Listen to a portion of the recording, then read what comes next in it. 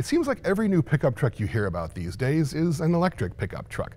But for a large segment of the buying public, electric pickup trucks just don't work quite well just yet. These are people who tow significant amounts of weight and tow at decent distances as well. And electric pickups, while they're good for some things like going off road in silence or quick jaunts around town if you're just maybe towing your boat into the lake, they're pretty good for that. But if you really do need to do serious trucky things, I'm talking big weight, big trailers, really going off-road in some difficult conditions, you really do need a heavy-duty pickup truck, and there are no electric versions of those just yet. But that's okay. GMC has just updated the new 2024 Sierra HD for the people who really do need to use their trucks for trucky things. Now, what have they changed? Well, come with us. We'll take you through the new 24 Sierra HD and see where GMC has made some improvements. One area that they really didn't need to change much because, quite frankly, we think it's an area that they got right on the last big redesign of the full-size trucks is the styling. You've got some new headlights, you've got new grills, you've got new bumpers, but the truck overall still looks pretty much like it did, and that's okay. One area that you do have something new is there's a new trim level. This is the new GMC Sierra HD Denali Ultimate. Now, there is an Ultimate package that you can add onto the Denali for the 2023 model year, but for 24, the Denali Ultimate becomes its own trim level, topping the range of the pantheon of Sierra HD trucks, which consists of the basic Pro Grade, the SLE, then the SLT. You have a new AT4, which is the off-road truck, but you have the very new AT4X, which is the luxurious version of the off-road truck. You have the super popular Denali, and now you have at the top the Denali Ultimate. How do you recognize the Denali Ultimate? Well, up front, you've got what they call Vader dark chrome trim. Now, it's kind of hard to see on this truck in which the body color is actually very similar to that dark chrome, but when you compare it with a normal Denali like this one, you can see the parts that are actually bright chrome and the parts that are dark chrome on the Denali Ultimate. You got 20 inch machined wheels with gloss black accents, and the badging has now changed for the 24 model year. You've got Ultimate up here, you've got 2500 or 3500 now down in the front bumper. One area that they didn't need to change much because, quite frankly, not a lot was wrong with it was under the hood. The standard engine is still a 6.6 liter gasoline V8, making 401 horsepower and 464 pounds feet of torque. That's unchanged from the 23 model year. But for 24, the 6-speed automatic transmission is gone, replaced now by the standard Allison 10-speed automatic transmission.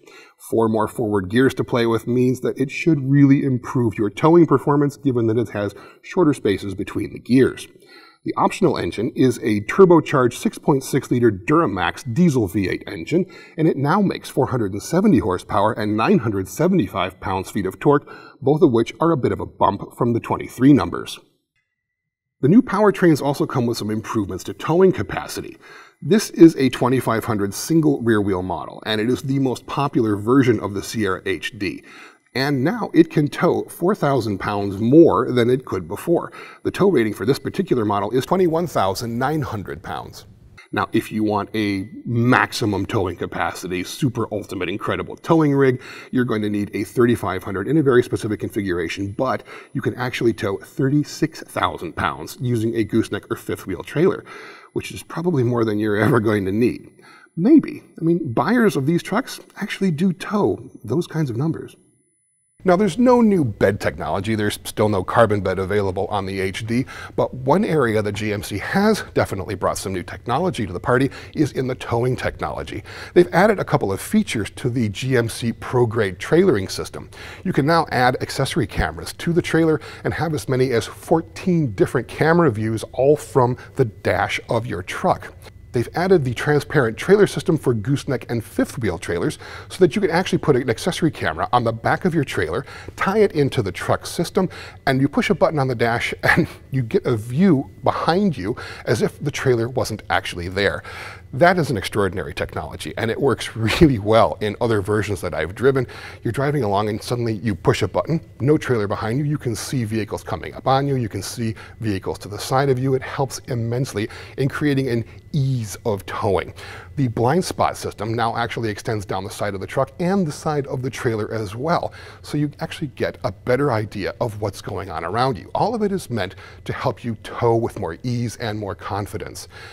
Now, the one thing it doesn't do that Ford just announced on the Super Duty is that it's not going to actually detect a hitch ball and back the truck up automatically with you operating just the brake. So, in terms of that whole best in class trailering technology, I'm going to have to call this a tie with the new Ford Super Duty, at least until we've tested both.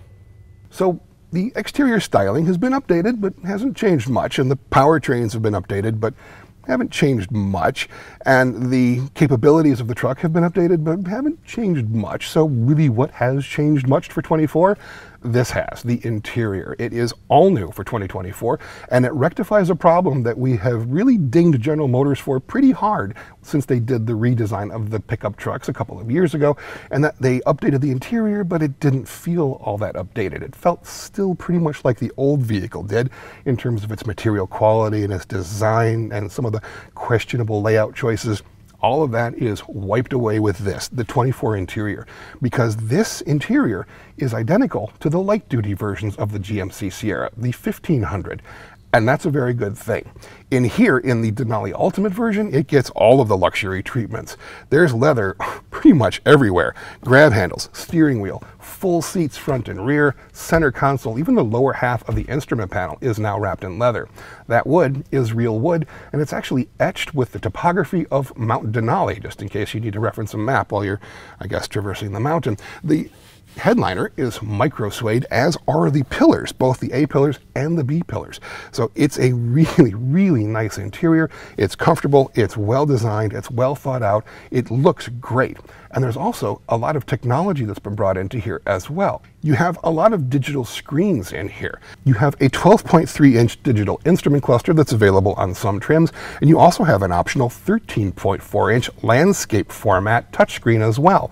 Now, the whole thing is running the new Google built-in operating system, which the jury is still a little bit out on. We've had some issues in getting this to actually work in pretty much any automaker's vehicles that we've tried it in, so I think they may be still ironing out some of the, uh, the glitches in Google's operating system, but it looks fantastic. It does work rather quickly. It is big and clear and easy to use, but they haven't gone completely touchscreen. There are still hard buttons on a number of components. And the climate control also has great big easy to use controls as well.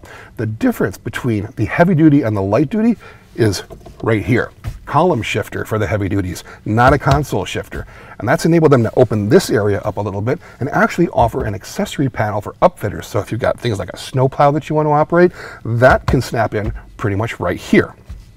There's also a 15 inch heads up display that's available on some models. So you've got a lot of different digital screens to look at but they're reconfigurable, they're easy to use, they're bright, they're high up enough that you're not taking your eyes off the road too much. All in all, this is such a dramatic improvement for General Motors interiors that it kind of wipes away all the bad memories of what they did during the last go round. If you want one of these Denali Ultimate trim levels, which GMC says are probably going to make up a significant portion of the number of Sierra HDs that it sells, well, you can have an interior in any color you want as long as it's brown. Technically, it's called Alpine Umber, and it really does look good, especially with all of the custom stitching and the embossed topography that we're seeing here. And the one thing that you're going to have plenty of in any HD truck is room. The thing is just cavernous. Plenty of room for five, or I bet you, you know what, you could probably even fit four people back here for a total of six, even though there's really only five seat belts. But the one thing about the Denali Ultimate is that sometimes you'll see luxurious appointments drop off from the front seat to the back seat. Not so in here. From the laser etched grills of the 12 speaker Bose sound system to the leather coverings on all the seats and all of the stitching, it's just as nice in the back seat as it is in the front seat. And that's rare. If you're just looking for a regular Denali instead of the Denali Ultimate, they've made some changes to that too for 2024. The biggest changes obviously come in the styling up front, where you've got the same kind of design changes. You've got a new grille, you've got new headlights, you've got new bumpers. But for the regular Denali, you get the bright chrome work instead of the dark Vader chrome that you have on the Denali Ultimate. You also have some new 18-inch machined aluminum wheels, which definitely give it that super chunky look on this dual rear wheel model. They certainly do look the business, don't they? We don't have pricing yet for the new 24 Sierra HD. That's actually going to come closer to the truck's on sale date, which GMC says is going to be the first quarter of 2023. Not all versions of the Sierra HD will be arriving in the first quarter, however. The AT4X, which is the new, more luxurious version of the AT4 off road trim, is not going to come until later in the year. Now, when we have pricing and when we've had our test drive and when we have more information to bring you about the new 2024 GMC Sierra HD, you'll find everything at cars.com.